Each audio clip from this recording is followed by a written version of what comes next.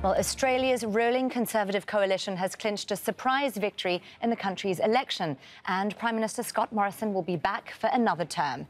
It's not yet sure whether they will have an outright majority, but in the past half hour, opposition Labour leader Bill Shorten has conceded defeat with a speech in Melbourne. He has also resigned from the party's leadership.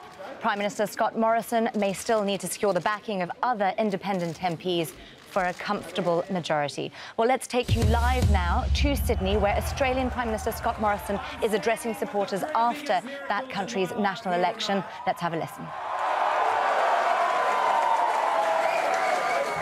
And tonight we've been delivered another one.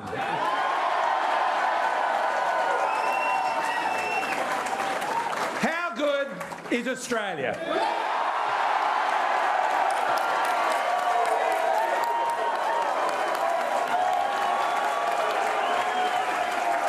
And how good are Australians?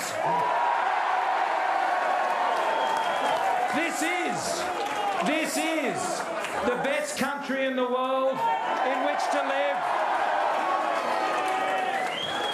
And it's those Australians that we have been working for for the last five and a half years since we came to government under Tony Abbott's leadership back in 2013.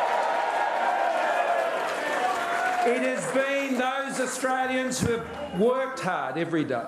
They have their dreams, they have their aspirations.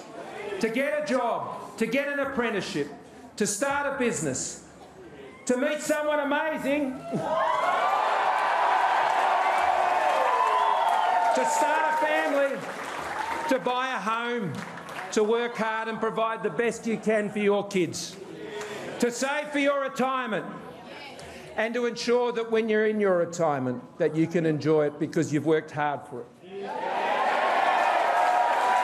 These are the quiet Australians who have won a great victory tonight.